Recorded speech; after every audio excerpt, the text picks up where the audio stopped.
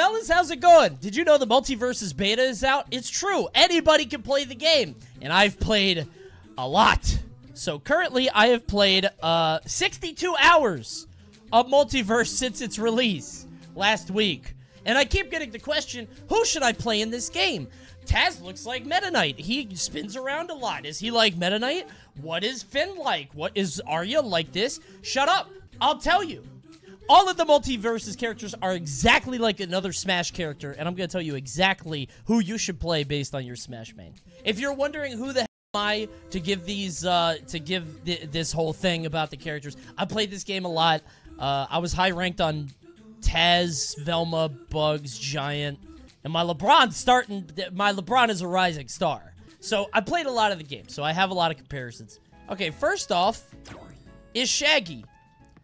And Shaggy has this move, this move, and most importantly, this move. This guy is exactly the character that you think he is. Shaggy is Captain Falcon. The way he operates is very Falcon-esque. He, he kind of runs around. He's very fast, very agile. Uh, goes all over the place. These moves go crazy. Need doesn't really kill. One of the things that you're going to learn in this game is that it honestly, it feels like aerials don't really kill all that much. Play him if you're trying to like, if you're trying to play somebody fast, good for a team, kind of basic. Shaggy's kind of like, I know I just said he's the Falcon, but he's also like Mario. and that he's the most basic character. So Shaggy's kind of like Mario there too. Now, Batman, when you first see Batman play, you're to think he's Sheik, okay? You're to be like, oh my god, look how fast he is. Look how many times he hits. He has a projectile. Like, you're to be like, oh my god, this is like Sheik, right? He's not. He is not like Sheik. Batman is this little critter right here. Batman is literally Fox. And a lot of people might be surprised by this. But no, it's true. Batman's damage output is absurd. If you land like one combo, he could just like super push it all the way. Like, I'm not even good at this. I'm not good at, well, I'm pretty good at Batman, but I'm not good at these combos. He just stays on top of people. It puts them like in the mix. Also, like Fox, he can't kill. This guy can't kill for shit. He has two kill moves. One of them is up B, like that. The other one is down air. He also can't kill. But thank God he can't. Because if he could, this game would be much worse. if you're a Fox player, play Batman. Hey, Light agrees with me. Light also plays Batman. And Light's the Fox guy, so I told you. Taz. Okay, dude, so when I saw Taz, I kind of knew exactly what he was gonna be, and I wasn't wrong, okay? he has very fast aerial momentum. Very stubby. If you look at his hitboxes, he doesn't really have much. A lot of people have said, oh my god, he's Meta Knight because of this. Which is cringe. He's not Meta Knight just because he has the... Dude, this sucks! They just nerfed this. If you're just playing the game now, you didn't play with Old Tornado. That sucks. But I think the most important thing with Taz is this move here. Do you see this? This move is very strong, and you can kind of just jump around and spam it. Does this move remind you of anything? Perhaps this will ring some bells. Who could that be? He's Wario. He's literally Wario. He he runs around and he tries to hit his aerials and he gets walled out and stuffed by everything. And he's also overrated as shit. Everybody says that he's one of the most busted characters in the game and he sucks. Unfortunately though, if you do play Wario, I don't know if you want to play Taz because Taz is uh, a low tier right now. Literally, the devs were like, we don't know what to do with him, so we have a rework coming. Garnet, uh, hmm. Garnet is Donkey Kong. I don't know who Garnet is. She feels kind of heavy and like she hits hard. I don't, I couldn't think of anything for Garnet. I don't, I, this character's weird. She's not good. She, you shouldn't play her anyway. How about this? Just don't play Garnet, okay? I was thinking she's kind of strong. She has a lot of armor. And this shit, and she dances. Okay, if you want a Garnet guide, this is not the channel for it. I don't know what the fuck this character is doing. Go watch TK Breezy. He plays Garnet. I asked him to tell me who Garnet is like, and he didn't answer me in time. So Garnet is Donkey Kong. New MultiVersus player, you are going to hate this fucking character. Jake has a lot of moves. He's very silly. He's very inventive. He can be a car. He can yoop and stretch into a circle. Jake is very funny. The problem is, Jake only has three moves you will ever see, okay? Jake is going to do three moves to you. Those three moves are this move, which is probably the best down air in the game. His second move is this. You'll see Jake's do this a lot. This is the only way he kills. And already you might have an idea of who this character is based on roll up smash. But this is the most important move. This move stretches all the way across the stage. You are going to become intimately familiar with this move. Now, clearly there's nobody in Smash that has this kind of move, right? But there is a character in Smash that functions very similarly. Jake is literally Mr. Game & Watch. Mr. Game & Watch, similar to Jake, has really three moves he's going for at any given time. He neutral airs you to like 60 or 70, and then he tries to get you with some, you know, sometimes he'll go bomb mode, and sometimes he'll do roll up smash like that. He's a couple really powerful moves stacked onto a character that has a lot of bad moves. Or not even bad, but like, why would you use it? Closer to Min Min. See, everybody that hasn't played the game is just going to make the immediate comparison. He has long, stretchy arms, so he's Min Min. No, he's not Min Min. Min Min wants to run away from you the whole match. Jake runs into you. Jake tries to fight you.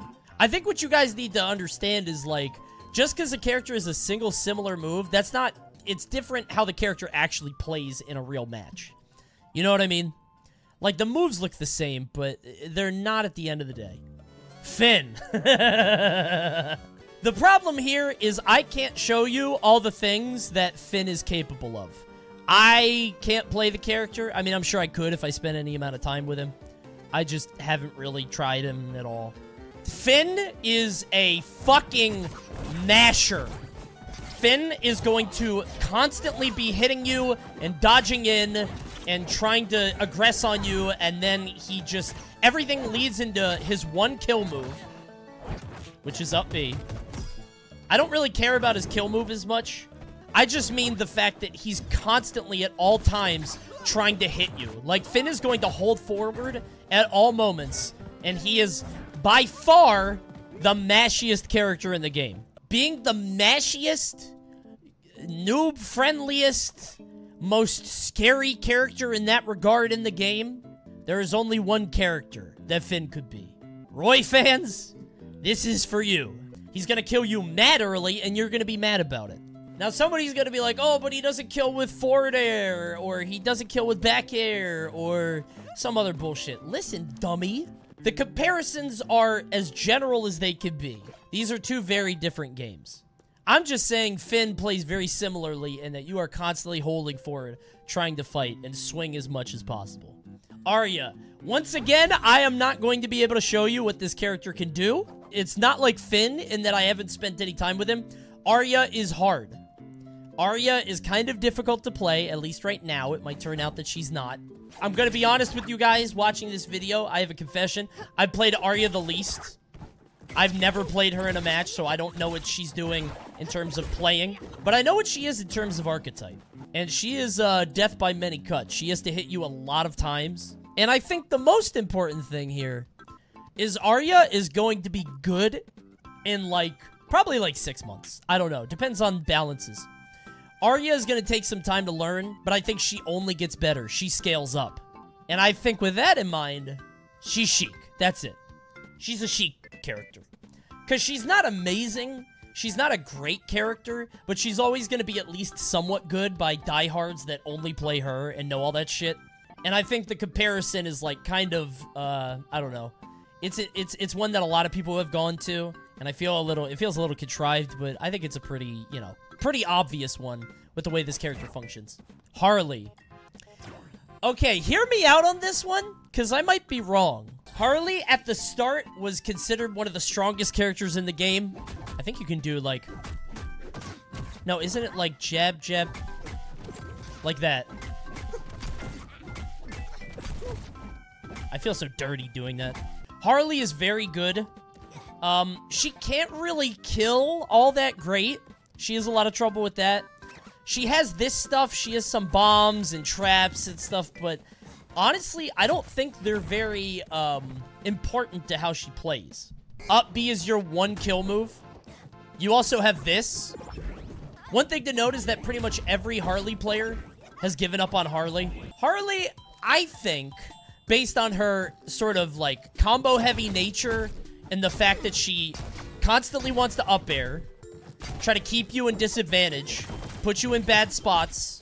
I'm not as confident in this, and I want chat to tell me if they have a better option. I think she's literally Zero Suit. I think she's gotten worse, and she's only gonna get worse. I think she's gonna keep going down in the same way that Zero Suit got nerfed, and then she kind of got gutted. I think she plays somewhat similarly, and that you want to, like, jump in when your opportunity comes up, but not too early. Joker? Maybe. No, Joker can kill. Joker can only kill with Arsene, though. So let's let's condense Arsene down into one move. Up B with Harley is Arsene. Okay, well, she is... Harley is one of these two. It's a little bit of both. This is the character. Just, that's it. It's one of these two. That's Harley, I guess. I think it's more Zero Suit, but honestly, Joker's kind of like Zero Suit too. So, whatever. LeBron just came out today. I have no idea what the fuck. He kind of sucks. if you're looking to be a LeBron main, good luck. Uh, I have no idea what to compare him to. You guys tell me if you guys have a have a better uh, compare. Hey, comment below. Let me know what you think in the comments. Do you think LeBron or Rick and Morty will be top tier? LeBron, no. Rick and Morty, we don't know their moveset, so I don't know. Wonder Woman, who I lied before when I said I had played the least amount of Arya. I played the least amount of Wonder Woman. Wonder Woman is kind of bare bones. Uh, she's not ambiguous in the way that she plays. Her specials are a little bit more um, nuanced, I think. But that's just the nature of this game. Obviously, the one-to-one -one comparisons aren't always going to be there. I think Wonder Woman is literally Lucina. I think Lucina players will be right at home. You can just kind of space people out with this. You can approach with it. You can uh, retreat with it. It feels kind of similar. I think she's more similar to Lucina than any other character. She's kind of the, the standard sword character, and I think Lucina fits that same role. She's she's Lucina. She's literally Lucina. Superman. Okay. This one's a little weird. Superman has all these specials. He has this. He has Ice Breath. He's a big... Uh, he's got uh, this move, which can fly forever, right? Nobody in Smash has anything like this. And I think the biggest thing for Superman is the momentum. Like, he is so fast when played well, and I do not play him well. I've tried. I think the main thing Superman does is scare you. I think he pushes you to the corner, he puts you in a bad spot, and he forces you to guess. And when he does that, you're probably going to make it a bad decision and die mad early. You can do side B, and then Got him. Superman cuts off areas of the stage. He pushes you into a bad situation, and then he punishes you for making that bad decision. Superman is literally King Dedede. Not in terms of movement, not in terms of move set, not in terms of anything like that. But what Dedede does is he's not really all that scary. He just tries to put you in a bad spot for 90% of the game and then eventually he does, and you die at 50. That's what Dedede does. I say Bowser over Dedede. No. Bowser has bad disadvantage. He gets stuck in the air a lot. He can't, like... You're not focusing on the bigger picture. There, you're, you're, you're hyper fixating on one little bit of the character. Dedede just tries to put you in his dumb little gimmick machine, and then he, if he does, he kills you early. Superman is literally DDD, and I will hear nothing more of it. Okay, I've got to be honest with you. Iron Giant isn't really like any Smash character. He is huge. Uh, he has this crazy armor, and while this is on, I cannot be hit. Wait, I heard they nerfed this out. Oh, they made that way longer. This kind of super armor, on a heavy is unprecedented. Yeah, this kind of character is very different. Uh, he has these moves. He has, like, these huge hitboxes. He's good in the air, too, so, like, a lot of heavies are only good on the ground. I gotta be honest, Iron Giant isn't really, like, any Smash character at all. But if I had to pick one, I guess it's Bowser. I guess. There's a ton of armor, he's heavy as shit, he lives forever, and he also has this move, which I haven't shown you yet.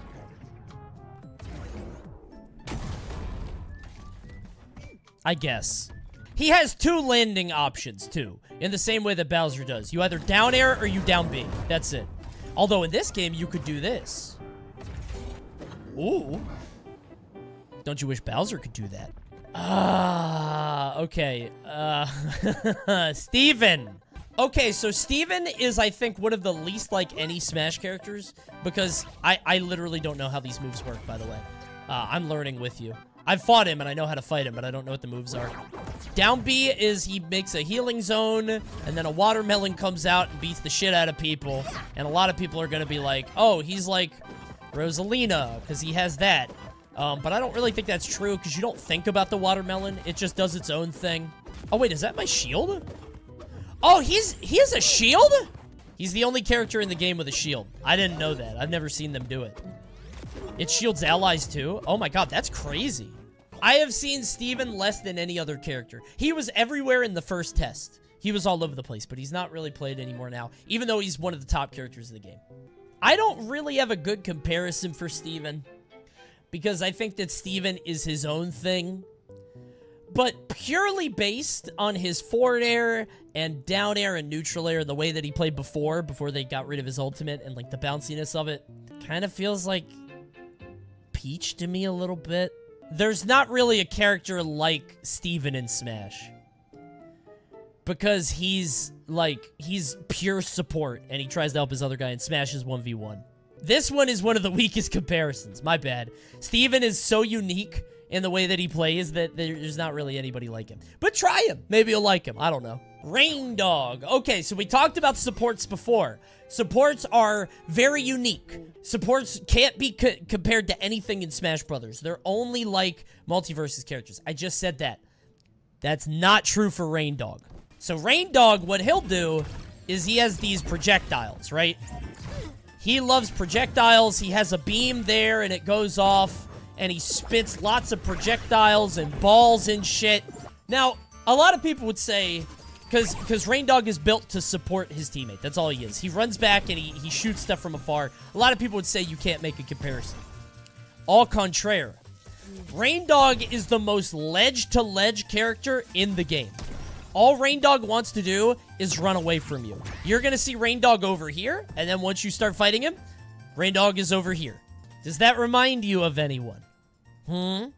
What if I were to show you this move? Who else does that? Hmm? Sonic? No. Sonic does it at projectiles. But Samus does! Reindog is literally Samus.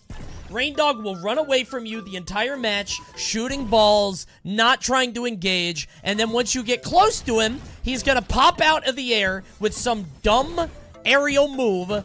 Yeah, like this, like forward air to get away from you. Just trying not to engage. Reindog is Samus, doing everything they can to not fight you.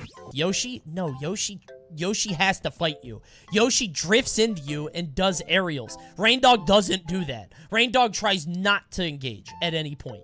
Reindog is literally Samus, and I'm gonna ask you to shake on it. Shake my hand. Shake my hand. Oh, oh, I'm glad you came around. Oh, I knew you would see it my way eventually. Oh, I'm glad we agreed. Thanks, everybody. Velma uh, is actually my main. I have played Velma the most. I love Velma to death. She's not like any Smash character really at all.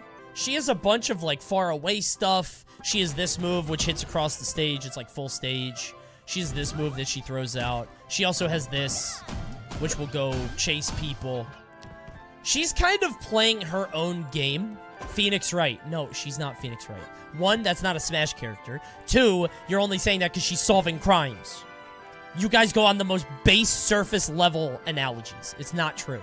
Velma is, uh, she is a very far away character. She's good at playing from a distance, but she's also very good up close. which you would not expect. I think the way Velma operates and what you should do with her, I think she's Olimar. I think staying away from people is preferred, but if they get up close, you're fine. You could fight straight up, and you could probably kill them. There's stuff to keep track of. You constantly have to be on the move and running and, and dancing around. I think she's closest to Olimar if you had to make a comparison. But I don't know if comparisons are really apt for this game, if I'm being honest. Because she is a very, like, supportive character. Also, she could call the cops. Kind of funny. You can beat the shit out of people in the cop car. Now, Tom, I'm just gonna tell you to go watch Void. I have no idea what the fuck this character is doing. He's got a lot of weird stuff. He has, like, this fishing rod, which, you know, obviously, maybe Isabelle. He has a slingshot, villager-esque, I guess, but now I can control Jerry. You see this? So I'm kind of controlling Aluma, because I have to control him and I have to pick him up. I have this. uh, it's kind of weird. If I had to make a comparison for Tom and Jerry, I guess I would say they're kind of like... It's like Ice Climber, Snake, and Rosalina and Luma. All of these characters at the same time. They're kind of trap-esque, like Snake, a little bit. Like they want to put you in a bad spot and set up a trap and you get stuck in it and then you die early. They're kind of like Ices that you're controlling two things at once. You could put Luma out the same way that you control Jerry a little bit. But it feels more like... I feel like you have a little bit more agency over Jerry.